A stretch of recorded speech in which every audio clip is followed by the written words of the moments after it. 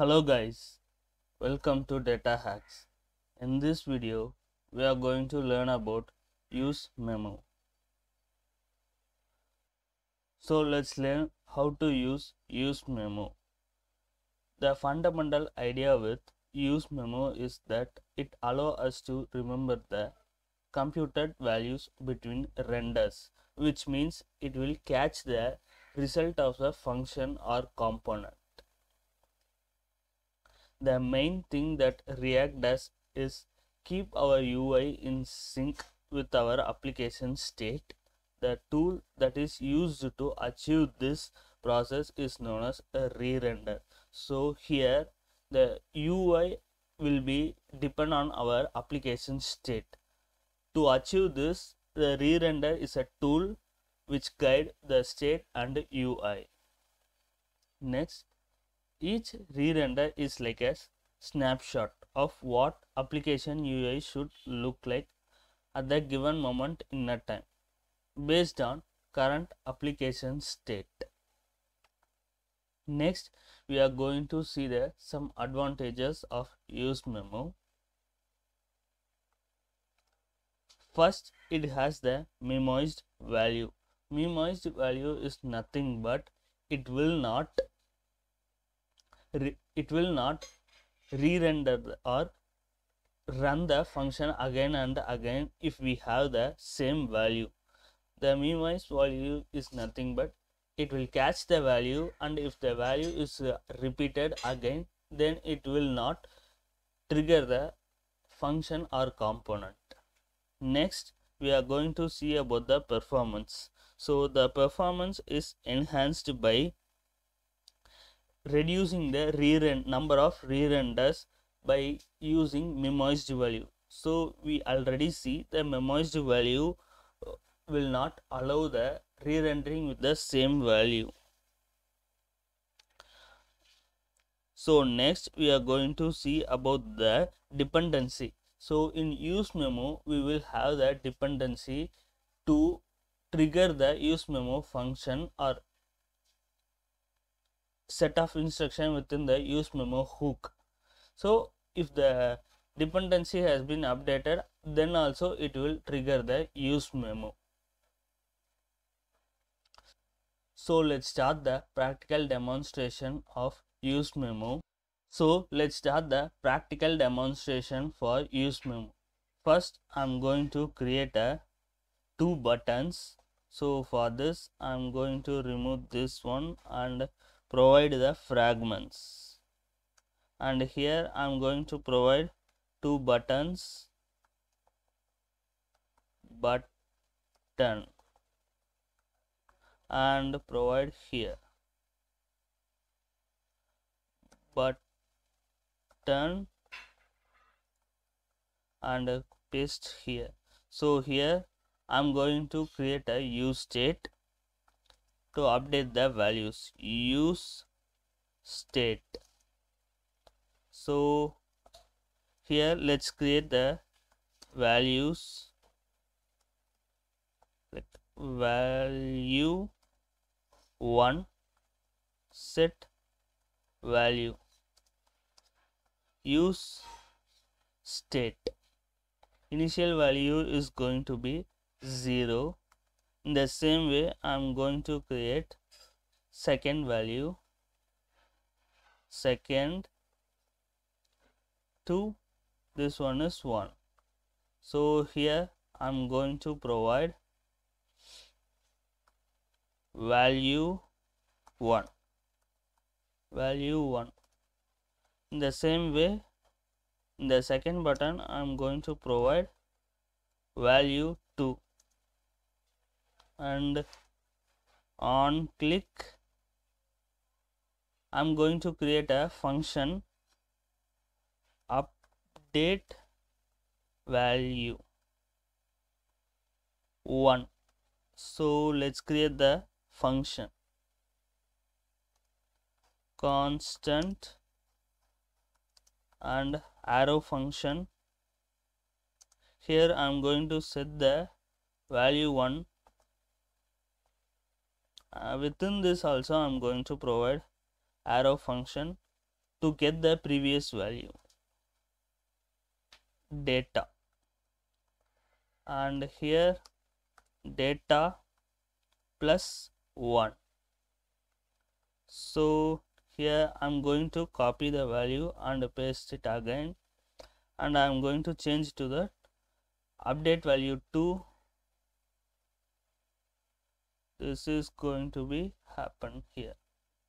And here I'm going to remove the set value 12 as a 2 and let's copy this on click function and provide in the button change to 2 so now we have the values to update right?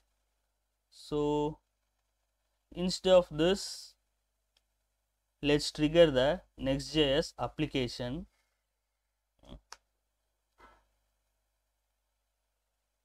We can wait for a few seconds. In index page we can see the values.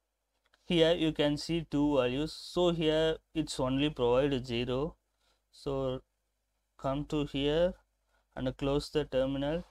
Here value 1 the same way I'm going to provide here value 2 if we go to the front end you can see here. So if we click here the value has been updated each time. And here also the value has been updated each time. So next this is how it will happen normally. So till now we have seen how the values are updating next i'm going to provide another div tag and i'm going to place them here. And inside div tag I'm going to copy the button and place here. For this button also I'm going to provide another div tag. Div tag.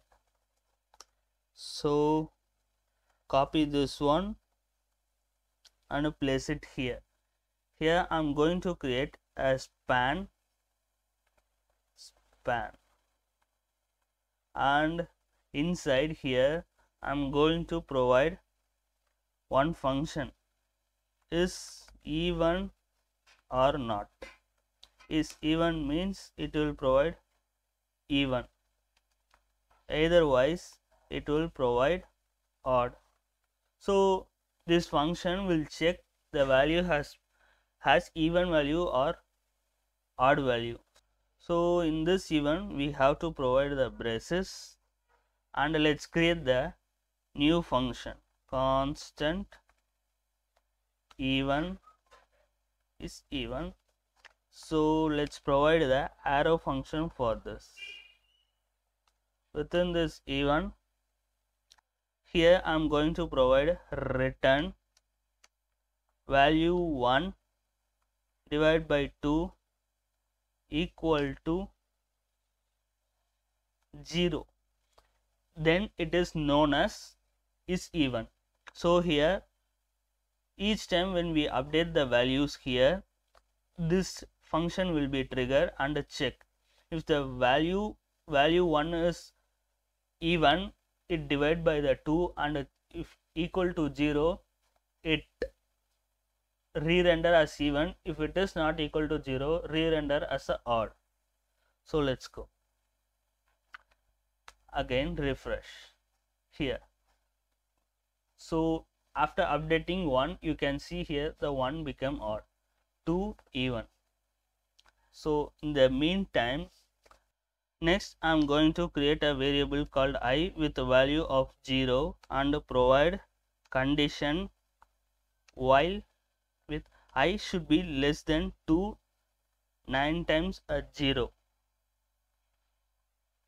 so if the condition is satisfied we have to increment the i value. So let's check now. So if i am going to trigger the i value you can see the value has been not updated for very long time. It takes very long time to update. You can see here. So if i click again we can wait for few seconds. It will update after very long time. So because of the condition we have provided here okay. If we click value 2 also it take it will take more number of time because of the condition. Because here we have update value. Within this update value we have a state. So if the state has been updated the whole component will be re-rendered. At this time is is even also triggered and it will re-render. The process will take some more time. So if we have a complex operation it will take more time like this. So we have to overcome this problem. For this only we are going to use use memo to overcome this. So i'm going to provide use memo and here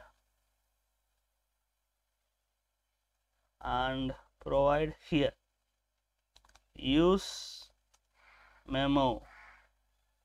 Inside use memo we have to copy this one and paste it inside. So if we go to the front end okay we have to move this to here and refresh the page. So we are facing few errors. So let's check. First of all we are facing error due to this parenthesis.